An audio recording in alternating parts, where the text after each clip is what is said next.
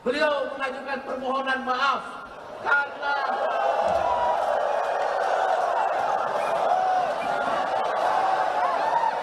karena saudara dengarkan dulu. Karena ada tugas negara. Tugas negara yang tidak bisa ditinggalkan.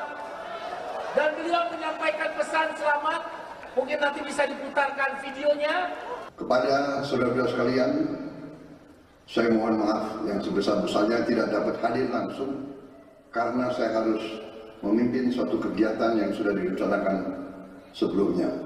Dengan keadilan ekonomi, dengan keadilan sosial, saya percaya nasib seluruh Indonesia akan tambah baik. Selamat berjuang.